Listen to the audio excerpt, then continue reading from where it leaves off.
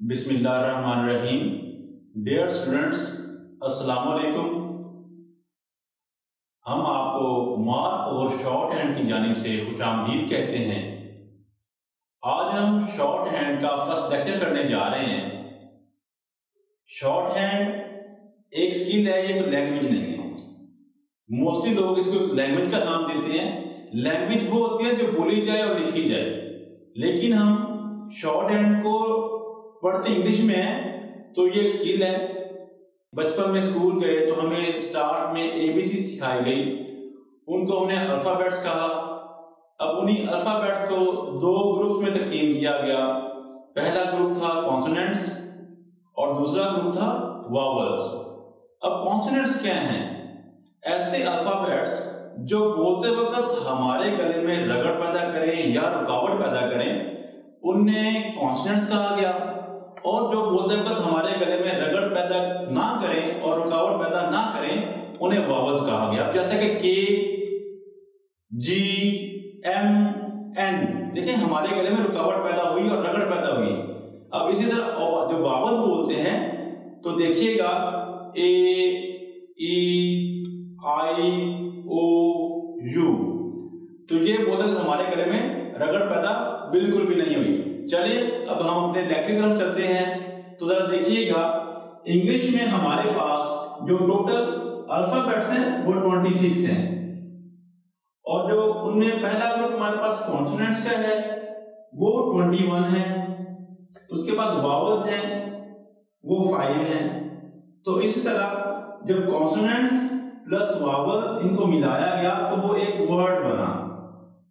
अब बात करेंगे हम लोग शॉर्ट हैंड की। शॉर्ट हैंड में जो कॉन्सोनेंट्स हैं, इनका नाम चेंज किया गया है, वो है स्ट्रोक्स अब हमारे पास 24 स्ट्रोक्स हैं, और बाबत को बाबत का नाम ही दिया गया है, वो हमारे पास है नहीं 12 12 बाबत है। शॉर्ट हैंड में strokes plus vowels is equal to outline यहाँ देखिएगा यहाँ कॉन्सोनेंट्स प्लस वावल्स वर्ड बना, यहाँ पे स्ट्रोक्स प्लस वावल्स क्या बना? आउटलाइन बनी। अब आप जरा देखिएगा हैंड जो स्टार्ट हो रही है, वो पी से स्टार्ट हो रही है। अब मोस्टली लोग सवाल करते हैं, ये स्टार्ट पी से क्यों हो रही है?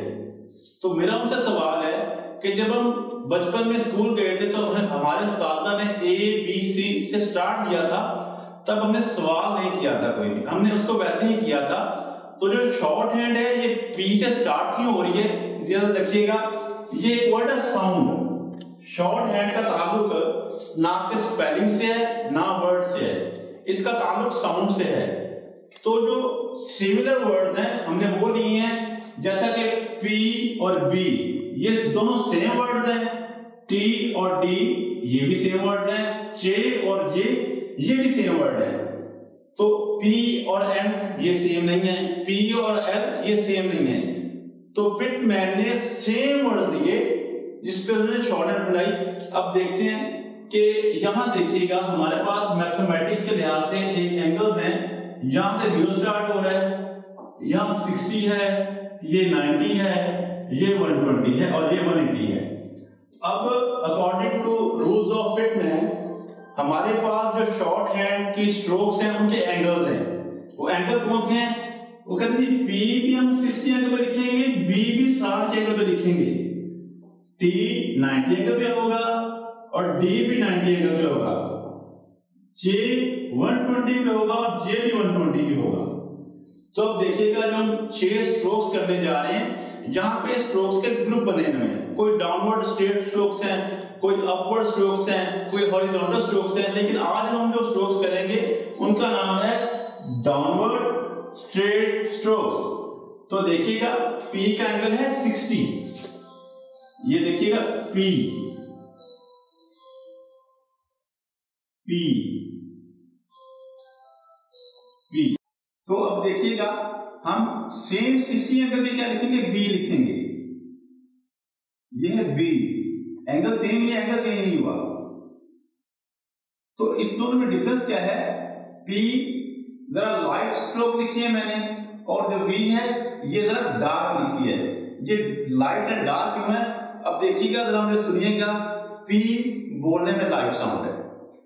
पी लाइट साउंड है, अब बोलिएगा बी पी बी अब ये दोनों की साउंड में डिफरेंस आ रहा है। इसीलिए जो पी की स्ट्रोक है, ये लाइट है और बी की स्ट्रोक डार्क स्ट्रोक है। अब नेक्स्ट जो हमारे पास स्ट्रोक है, वो है टी की। देखें टी नाइनटी एंगल पे है और ये लाइट स्ट्रोक है। इस तरह डी भी नाइनटी एंगल पे है, लेकिन ये डार्क स्ट्रोक है। जिस तरह के टी और डी टी डी ये सेम साउंड नहीं है। साउंड में फ़र्क आ रहा है लाइट एंड डार्क का। उसके बाद हमारे पास जो नेक्स्ट स्ट्रोक है, वो देखिए ये 120 के स्ट्रोक है। एंगल सेम रहेगा 120 वाला। चे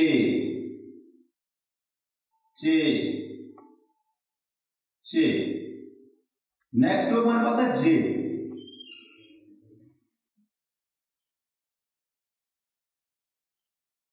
अब देखिएगा चे जे यहाँ पे साउंड में बिल्कुल वादे फ़र्क है। अब यहाँ पे आप देखिएगा कि जो एक्यूरेसी है एक्यूरेसी लाइफ में बहुत ज़रूरी है। किसी भी काम में एक्यूरेसी बहुत ज़रूरी है। एक्यूरेसी क्या है? आपके काम में हंड्रेड परसेंट जो परफेक्ट काम है, उसको एक्यूरेसी कहते हैं। अब शॉर्ट एंड के जो रूल्स हैं, वो जो पाँच, चार रूल्स हैं, अगर आप लोग इस पे अमल कर लेंगे, इस पे हंड्रेड परसेंट इंप्लीमेंट कर लेंगे दुनिया की कोई ताकत आपको गवर्नमेंट जॉब देने से नहीं रोक सकती। अगर आप इन पाँच रूल पे अमल नहीं करेंगे तो दुनिया की कोई ताकत आपको गवर्नमेंट जॉब दे नहीं सकती। अब तो देखिएगा, अब जो स्ट्रोक का साइज़ है, वो कितना होना चाहिए? वो इंच का चौथाई होना चाहिए। अब ये जो स्ट्रोक का साइज़ में लिखा है ना, ये इंच का चौथाई नहीं बनता बिकॉज़ व्हाइट बोर्ड बहुत बड़ा है। जब आप रजिस्टर्ड लिखेंगे, उस इंच का चौथाई होना चाहिए। वो हिस्सा चौथाई ही क्यों होना चाहिए? अब जो लोग शॉर्ट एंड जानते हैं, वो भी मुझे सुन रहे होंगे कि हमारे पास एक इलेवन चैप्टर में कुछ ऐसे वर्ड आएँगे जिनमें हमें स्ट्रोक को हाफ़ करना है। और कुछ नेक्स्ट लेक्चर में कुछ ऐसे वर्ड आएँगे, सिर्फ़ स्ट्रोक को साइज़ से डबल करेंगे। तो इसीलिए इसका साइज़ एक्यूरेट होना बहुत ज़रूरी है। ठीक है जी? नेक्स्ट देखिएगा। एक स्ट्रोक का दूसरी स्ट्रोक से फासला इंच का साइज़ था। अब आप देखिएगा, ये मैंने स्ट्रोक्स लिखी हैं। सबका दरमियानी फासला बराबर है। ये दरमियानी फासला बराबर क्यों करना है? आगे जाके कुछ ऐसे लेक्चर भी आएँगे जहाँ पे हमें स्ट्रोक्स को डिसज्वाइन करना पड़ेगा। तो वहाँ पे हमें परेशानी का बायस होगा, परेशानी का सामना करना पड़ेगा, जिससे हमारी गवर्नमेंट जॉब में खतरा आ सकता है जॉब नहीं हो सकती बिकॉज़ हम अपना लिखा हुआ नहीं पढ़ पाएँगे। अब नेक्स्ट देखिएगा कि स्ट्रोक जो मैं बोल रहा था पी, बी तो सेम इसरा बोलेंगे। ऊँची आवाज़ में बोलकर प्रैक्टिस करना। अब ये क्यों ज़रूरी है? अब देखिए ये कोई लैंग्वेज नहीं है, ये कोई, वो एक तालीम का एक सबक नहीं है, ये एक स्किल है। इन लाइंस को याद करने के लिए हमें ऊँचा ऊँचा बोलना पड़ेगा। जैसे कि, जैसे स्ट्रोक लिखेंगे ना, ये ये लिखा है मैंने, P P P, B B B. आपको इतनी आवाज़ में बोलना पड़ेगा। नेक्स्ट देखिएगा। लाइट और डार्क का ख्याल रखें। अब लाइट एंड डार्क का ख्याल क्यों रखना है? लाइट एंड डार्क का ख्याल इसलिए रखना है कि अगर आप प्रैक्टिस में ऐसे लिखेंगे, ये लाइट है तो डार्क करने के लिए आपको ये पेंसिल का दबाना पड़ेगा। क्योंकि हमने शॉर्ट हैंड करनी है लेड पेंसिल से, जिससे हमारा सिक्का टूट सकता है, जिससे हमारा जो पेज होगा वो पेज पड़ सकता है। ठीक है जी, इस चीज़ों से बचने के लिए हमने लाइट स्ट्रोक को इतना लाइट लिखना है ताकि डार्क को कम डार्क करना पड़े। ठीक है जी, अब कुछ लोग प्रैक्टिस करते हैं, जो रॉन्ग प्रैक्टिस है, वो ये है। ये प्रैक्टिस आपने बिल्कुल भी नहीं करनी। प्रैक्टिस करनी है आपने इस इस स्पीड में। पी